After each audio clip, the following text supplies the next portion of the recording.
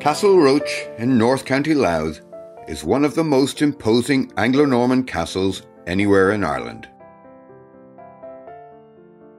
In the records from that period, it was referred to by its Latin name Castellum de Rupe, or Castle of the Rock, for obvious reasons. Before the coming of the Normans, the lands here formed part of the ancient kingdom of Airgialla. It is quite likely that the rock outcrop here was the site of the royal residence of the kings of Airgialla long before the Anglo Norman castle was built. The castle that we see today owes its origins to de Verdun family, who took their name from Verdun in northern France. Bertram de Verdun originally came from Normandy to England with William the Conqueror in 1066. A century later, when William's descendant Henry II came to Ireland in 1171, in his entourage was Bertram's grandson, also Bertram, one of the king's loyal barons. Bertram died in 1192 while on crusade with Richard I in the Holy Land.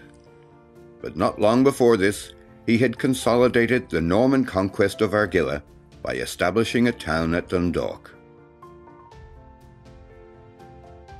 It is said that in 1236, Bertram's granddaughter, Lady Rohesia de Verdun, built a castle here at Castle Roche. However, it is generally agreed that the castle we see standing proud on the rock today was built by her son John sometime before his death in 1274. The castle comprises a large triangular shaped courtyard enclosed by a massive curtain wall. On the east side is a tall twin towered gatehouse. Outside this gatehouse is a massive fosse cut deep into the bedrock. Today, a stone causeway can be seen crossing the fosse, but originally it must have been spanned by a drawbridge that could be raised when the castle came under attack. On the south side of the castle, beside the gatehouse, is the main hall, which accommodated de Verdun family and their guests. This impressive castle was designed to be seen throughout the surrounding countryside as a symbol of the military might of its lord and lady.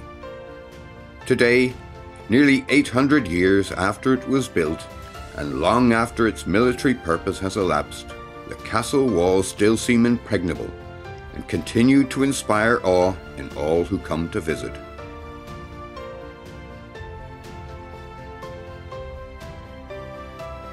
Castle Roche is a national monument in state care and is managed by the Office of Public Works.